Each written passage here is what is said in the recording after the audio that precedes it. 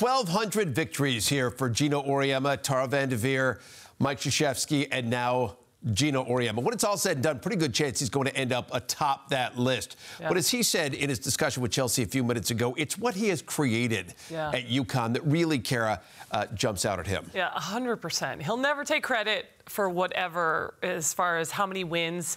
He really thinks it's the national championships that mean more than that. But even more than that is what he's created at UConn with a culture of a family. You know, we've said it before once a Husky, always a Husky. And it started from nothing and grew to this. So he can really appreciate it. The kids nowadays, they come in and that's all they know is the banners and UConn.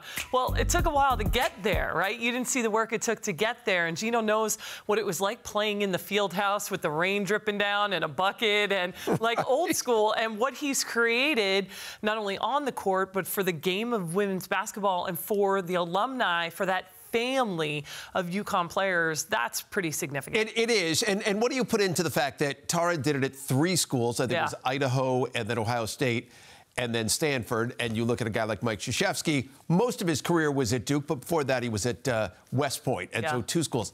Geno has done it all at UConn. Does that add to the significance? I think it does. I think it adds to that, and he's done it the quickest. But being at one school and the loyalty, he is such a loyal person to his program, to his school, to his players. He would, if I called him right now and needed something, well, maybe not me, but Diana Taurasi or super.